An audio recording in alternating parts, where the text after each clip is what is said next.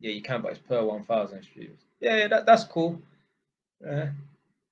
Man, I like to work. I don't mind building things up from, from the ground up.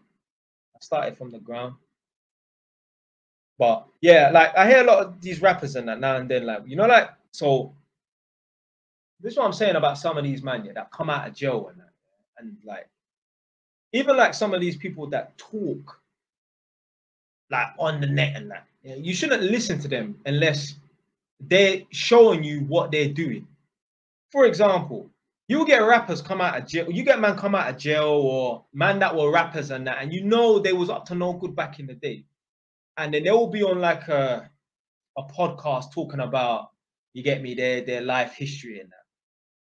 And they they will say, Yeah, I'm just getting on the right path now. Man's done with that lifestyle, allegedly. Yeah. They might not say that, but they give you the impression they're not on that nonsense and that. But my problem is they never tell you what they're doing right now. I've watched so many different podcasts with so many different men, and hardly any of them will say, "Right, I used to do this on the road," or you know what they was on from back in back in the day. So you don't even they don't even say, but they ne- they never tell you what they're doing now. Why is that?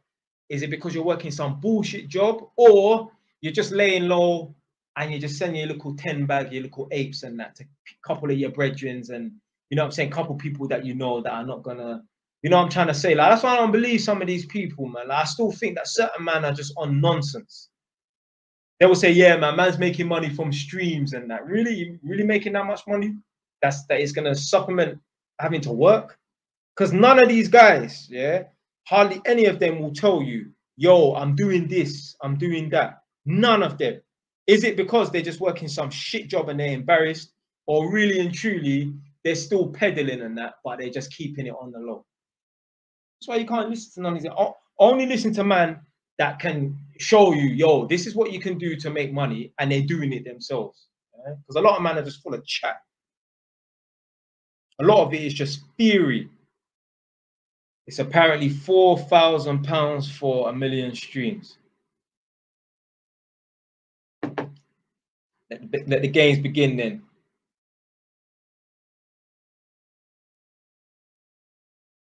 But like some people, yeah, let's say for example, you're like me, I'm starting off from the bottom there, yeah, starting off from scratch on Spotify. Some people be like, fuck, man, it's a million streams to get this amount of money. Fam, I love working. I love building up stuff. I see I see life like a video game. See, I play video games like in real time, as opposed to like I play video games like with my life, as opposed to man that sit in front of a screen and you may as well be building up something in your own life than trying to level up some character in a fucking screen yeah, when you're sitting down in a fucking chair, bro. Because at the end of the day, yeah, you've completed this new mission on this game, you've got this achievement, you're the best shooter in Call of Duty or whatever. When your head hits the pillow and you wake up in the morning, you're still gonna be fucking broke. Whereas if you become a YouTuber or a TikTok person or whatever, or you're building up some sort of whatever in the real life, you're playing the game of real life and that, you are building and creating something that is going to be able to pay you some money in the long run. You being the best shooter in on tick um, on Call of Duty and that, more than like that's not going to pay you nothing. Unless you're streaming on what's that? What's that platform? oh, there's one platform, what's it called? Twitch or whatever. Then you can make some money from that. When I have a son, he's not playing on fucking video games, you know. The only time I'll let my son play video games is if he's gonna stream that shit, yeah. If he's not streaming it, you're not playing on fucking video games.